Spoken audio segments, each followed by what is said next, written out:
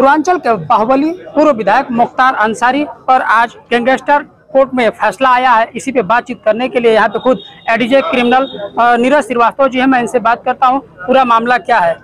जो आज मुख्तार अंसारी पे फैसला आया है, किस मामले में आया? किन किन क्या सजा दी गई है?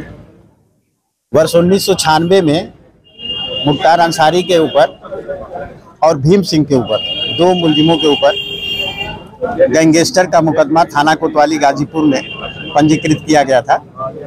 और उस गैंग चार्ट में कुल पाँच मुकदमे दिखाए गए थे, जिन पाँच मुकदमों के आधार पर इन्हें गैंगस्टर साबित करने का प्रयास किया गया था।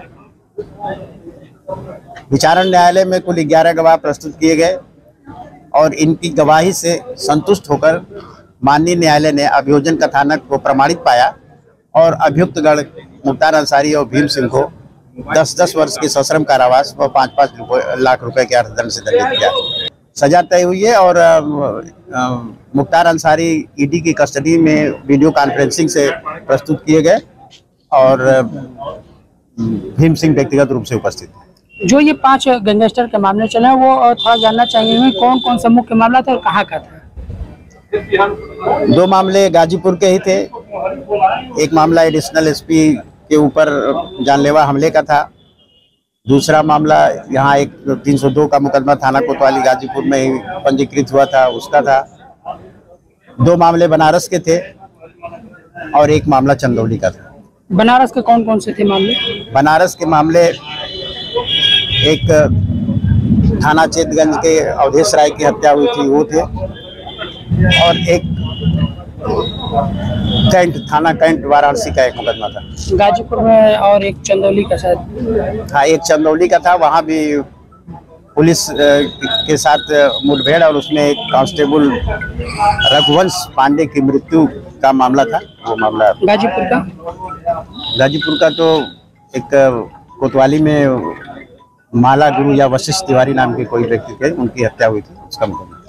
तो इतना जिसे देखा है कि उन्नीस सौ छियानवे का ये मामला था और 2022 में इसका फैसला आ रहा है, इतना विलम्ब गैंगस्टर के मुकदमे में थोड़ा विवेचना लंबी होती है तो विवेचना लंबी होने के कारण से छानवे के मुकदमे में 2007 में उसमें चार्जशीट आया और विभिन्न जनपदों में ये मामला चलता रहा। गाजीपुर, प्रयागराज, बनारस और अब गाजीपुर में फिर चल रहा है। तो इसलिए जब मुकदमे का एक जगह से दूसरे जगह पर स्थानांतरण होता है तो कुछ न कुछ प्रक्रिया में विलम्ब होता है। अभी जो गैंगस्टर का मामला था अभी खुद कृष्णानंद राय हत्याकांड वाला भी उसका अलग है या फिर इसमें? नहीं कृष्णानंद राय की हत्या और वो बनारस के एक अन्य मुकदमे को लेकर के ये नया एक गैंगस्टर दस सौ इक्यावन बटा दो हज़ार सात अभी अपराध संख्या दस सौ इक्यावन बटा दो हज़ार सात वो अभी M P M L court में विचाराधीन था। अभी जो सजा सुनाई गई है वो मुख्तार अंसारी पूर्व से ही जेल में है। इस सजा को उसमें जोड़ा जाएगा या फिर अलग से इसको निर्धारित किया जाएगा? अब ये पूरा जजमेंट मैं नहीं पढ़ा हूँ। अभी तो कोर्ट ने जितना वो किया है पूरा ऑपरेटिव जजमेंट पढ़ने के बाद ही धन्यवाद। गाजीपुर ऐसी शशिकांत तिवारी ई भारत।